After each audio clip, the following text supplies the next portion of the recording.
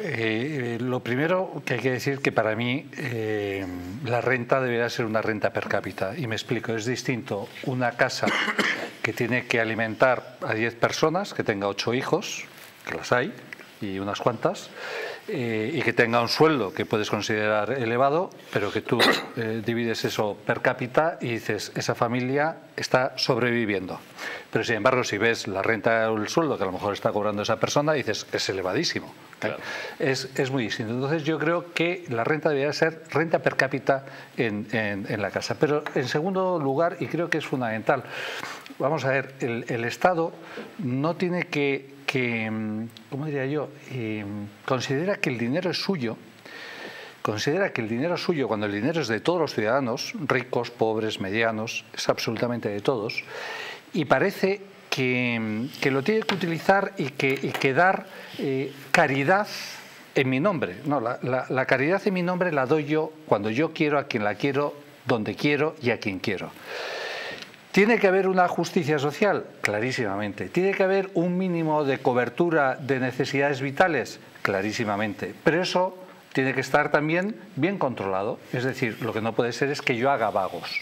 Y me explico. En Guipúzcoa puede haber personas ahora mismo que pueden estar eh, cobrando ayudas en torno entre los 1.300 y 1.500 euros sin pagar eh, vivienda eh, porque son, bueno, están en unas condiciones, son inmigrantes, tienen hijos y, el problema es que cuando mm, van a contratarlos, si tienen contrato te dicen que no, porque entonces pierden las ayudas.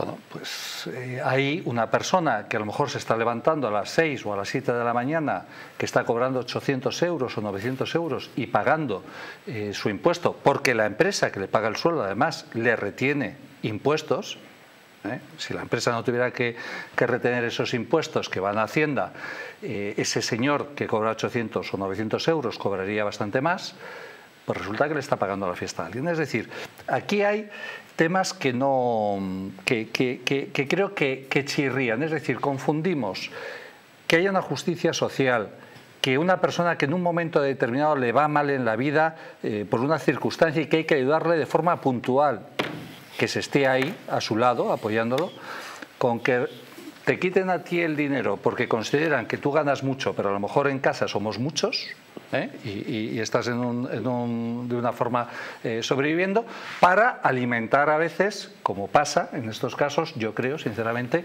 eh, compra de votos. ¿Eh? Y, hacer gente que no trabaja. Es decir, eh, eh, la gente tiene que, trabajar y producir. El problema y el drama es que en España hay gente que quiere trabajar y desgraciadamente las decisiones políticas que se están tomando que afectan a la economía y por cierto afectan probablemente a lo que luego hablemos, a la crisis financiera que se está viviendo en Estados Unidos y que pues esas decisiones políticas tienen impactos en la economía y tienen impactos en, las casas. Pero yo al final digo, si una persona tiene, es decir, el, transporte, bueno, pues si se han decidido que el transporte está subvencionado y es, pues no sé, a dos euros o a tres euros o a lo que sea, ¿qué, le vas a decir? Eh, cuando se suba al autobús, enséñeme su declaración de Hacienda. Claro. O sea, es que esto, esto, es ridículo. para el de 100.000 y para el de 14.000. Pero, además, insisto, yo creo que la renta tiene que ser renta per cápita.